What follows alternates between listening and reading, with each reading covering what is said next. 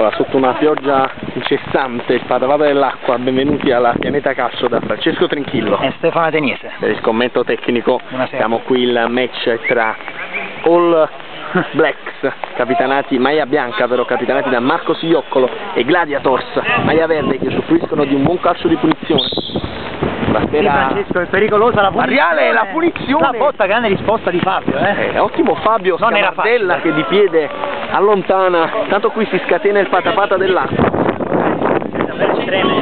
Ancora. Penalizzata, Squadra di Figlioccolo, molto tecnica. che recupera la palla adesso a cercare Pierleo però viene anticipato in fallo laterale in zona d'attacco È davvero difficile giocare, eh Francesco? eh sì, in queste condizioni Ci vuole tanto un giocatore tecnico come Dario Singolare ne attenzione Pierleo da Terra. ancora un rimpallo la palla arriva dalle nostre parti. Un gran numero, ma qui come se fossimo in Islanda.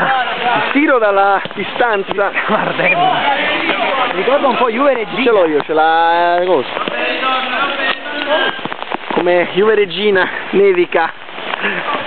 Attenzione l'arbitro concitate di gioco. È pensieroso, pensa di Pierleo, colpo di tacco dove però c'è solo Variale, poi Variale Junior fermato, Sioccolo ripiegamento difensivo, va via in dribbling, poi un rimpallo, perde palla, la riconquistano poi ancora i bianchi, Porcelli Porcelli palla sotto gli scarpini, poi perde palla Marasca, ancora singolare Marasca ci prova, il Eh. tiro respinto ancora dall'ottimo Scamardella. del difensore, eh. Ah, il portiere allora è Scaramellino, scusa l'errore, Scaramellino. Merlino. Il la rete! È la palla che Rete, la bellissimo il rete, gol del numero 9 di cui ci sfugge il nome. Lo chiamerei Pinco. Pallino. Pinco Pallino, numero 9, ottimo nuovo acquisto. Sono sicuro che la squadra 1-0, a questo punto direi di seguire quest'ultima azione prima di chiudere il nostro prima collegamento. di andare a prendere un tè caldo Tè caldo. avremo tutti bisogno. Davvero condizioni difficili, eh, caro Francesco. Seguiamo subito la reazione degli All Blacks Vediamo. sotto la pioggia. Siglioccolo. Eh, Eh, caponista fa- nei dribbling. Ricorda un po' Paganini nel momento. Beh, un po' sì, un po' sì.